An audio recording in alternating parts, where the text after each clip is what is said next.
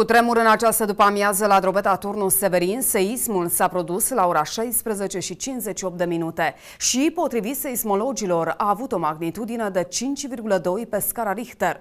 Specialiștii spun că acesta a avut loc în Gorj, la 14 km de Târgu Jiu, într-o zonă unde se produc de obicei cu tremure mici.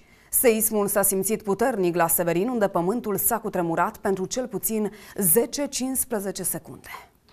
Cutremurul s-a produs la o adâncime de 15 km în județul Gorj, în apropiere de Târgu Jiu. Seismul a avut o magnitudine de 5,2 pe scara Richter și a fost resimțit la drobeta turnul Severin, adică la 73 de kilometri de epicentru. Cutremurul a avut o replică la ora 17 și 28 de minute cu o magnitudine de 3 pe Richter. La drobeta turnul Severin, autoritățile sunt în alertă, în condițiile în care aici cutremurul s-a simțit puternic. În acest moment, din informațiile noastre, nu există există niciun fel de probleme din punct de vedere material, nici uh, din alt punct de vedere. Nu au fost telefoane, doar, uh, într-adevăr, teamă, agitație după ceea ce s-a întâmplat în uh, Turcia în, în zile trecute și încercăm cât de cât să liniștim oamenii, cu toate că nici noi nu avem o soluție clară, nu știm ce se întâmplă în astfel de momente, adică dacă mai sunt replici, nu știm ce să-i sfătuim pe oameni, să stea în casă, să nu stea, să sperăm că nu vom mai avea niciun fel de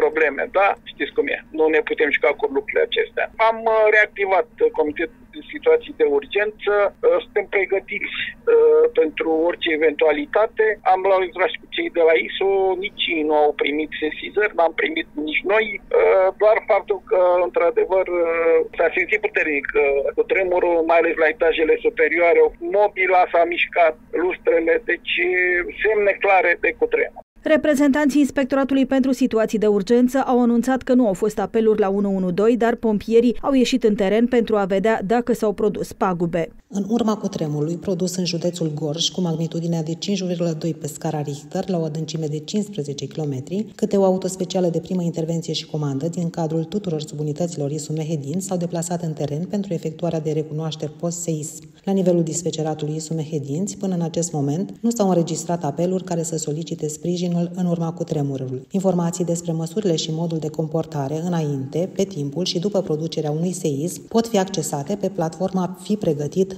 ro. Facem precizarea că în cazul seismelor, sistemul RoAlert nu va difuza notificări anterior declanșării acestora. La etajele superioare, cu tremurul s-a simțit cel mai tare. Lustrele s-au mișcat puternic, mobila la fel, au căzut obiecte în locuințe. Potrivit specialiștilor, cu tremurul a fost urmat de replici de magnitudine mai mică. Specialiștii spun că zona Olteniei nu este una predispusă la cutremure, de aceea seismul i-a uimit pe mulți. Reprezentanții Institutului Național pentru Fizica Pământului au anunțat că acest cutremur s-a simțit și în Bulgaria, dar și în Serbia.